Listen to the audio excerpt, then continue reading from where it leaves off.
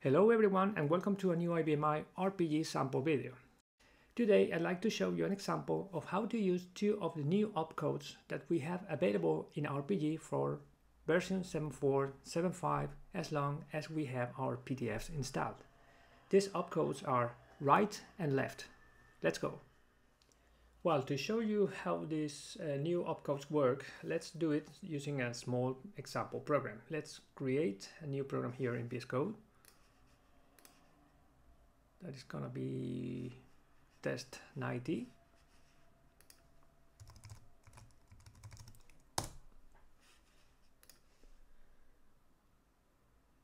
Okay, let me write some lines.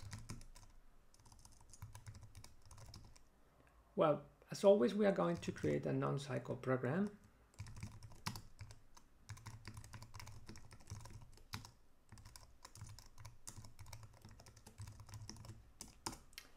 As you know, we do this by indicating in our options that our program has a main procedure, okay, in this way.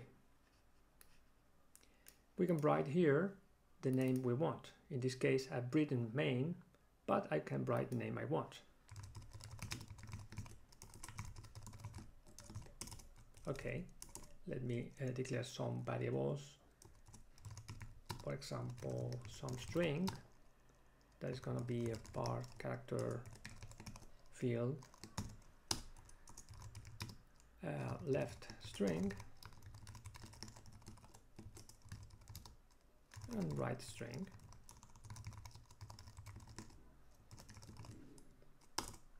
Okay now let me uh, give to some string a value. For example this one. Uh, this is an example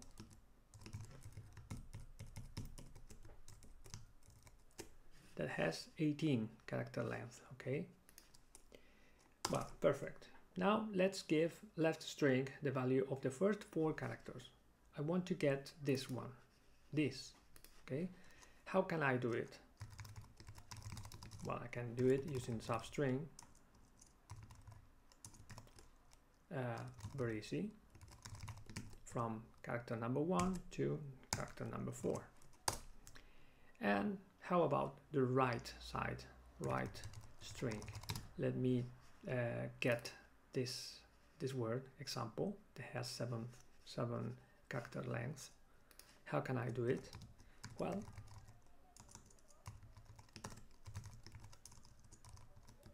in this case I have to make some calculation. Um, this is gonna be the length of string some string uh, minus 7 plus 1 7 okay? If I send this these two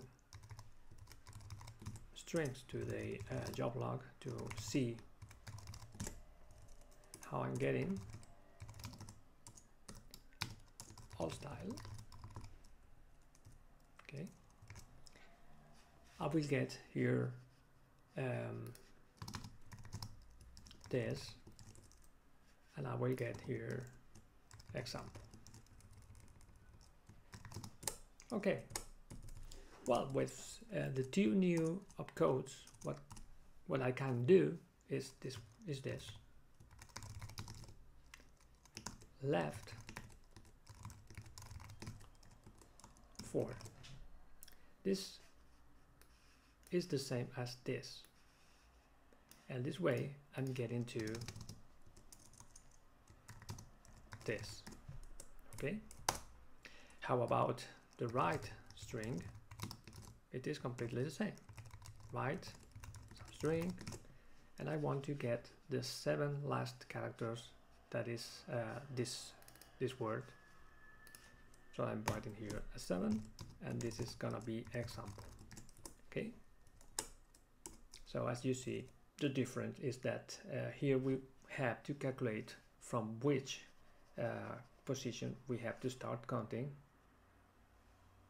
And here uh, it is much cleaner and clearer, especially because now we don't have to do calculations to know where we have to start counting from. Okay. let me write this too for this example new style okay. Well we always have to see the type of uh, this string this variable because now as you see it's a varying character uh, field. But what happens if this is a character string? Something like this.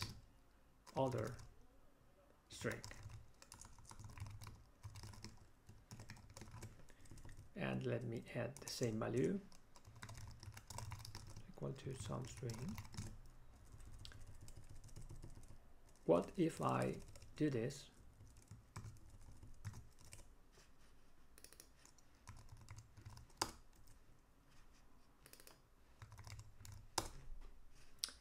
What I'm getting if I do this? Well in the same in the case of the left I will get the same this. But in the right side what I have in this case is not the word example. In this case I'm getting a blank value. So let me write this down.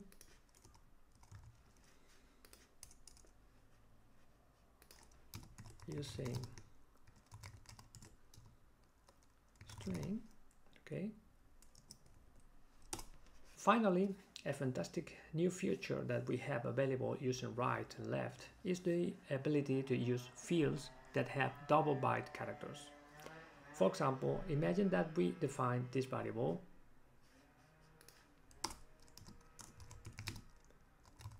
Some string utf8 that is equal to the first one but we have ccsid utf8 okay and I give to that variable a few words in Spanish for example mi árbol es pequeño. My tree is small okay? Now if we do if we do this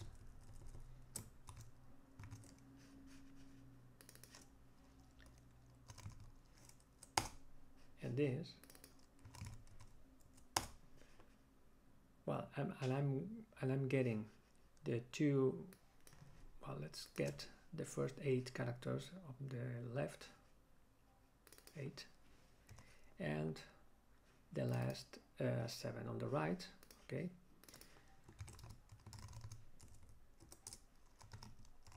And this is what I'm expecting okay?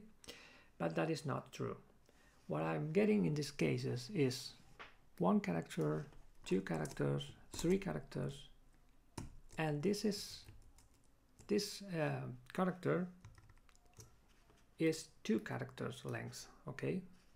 The same as this. So what I will get in this case is this, and in this case I will get um,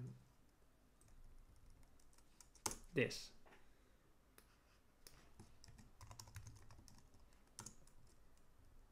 So how can I get the correct information? Well, in that cases, I will need to use natural this way.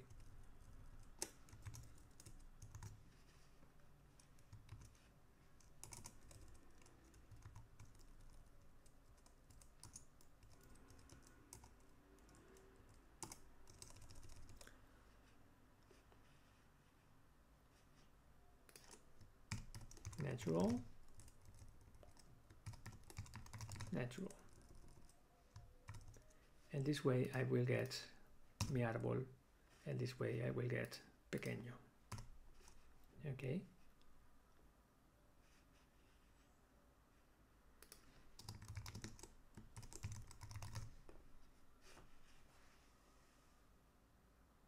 With this option, um, right and left will count characters naturally that is how a person would read them okay? Well I see it is all okay. Let me compile the program. Oh there's something wrong. Let's see how what is wrong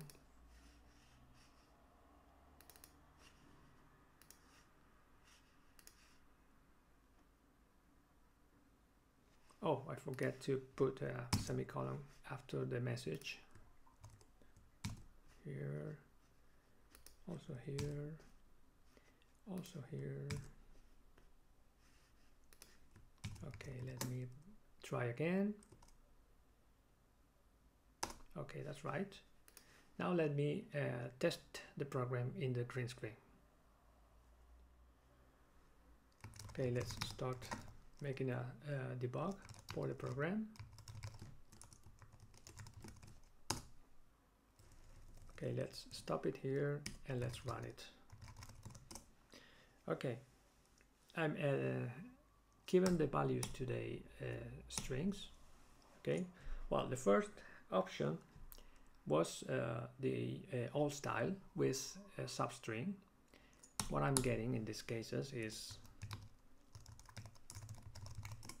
this as I said before and example okay? So the, the old style works of course. How about the new style using left and right? Okay if I run it what I'm getting is this and example. So they are working fine. Well what about using uh, the uh, other string that is a character string okay? What about it? If I use left left and right in this case what I'm getting is left is the same this and right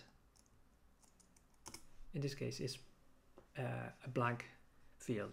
Why? Because I'm getting the last seven characters of the string and the string uh, is a is not a varying string in this case okay? It's a character string okay? Well let's go ahead. And now let's try with this string that is an UTF-8 string that has this value okay? If I take the last uh, the, the first eight characters on the left and the seven on the right what I'm getting is this okay? One two three four five six seven okay? But not eight. Why? Because as I said before the A uh, is two character lengths okay? What about the right string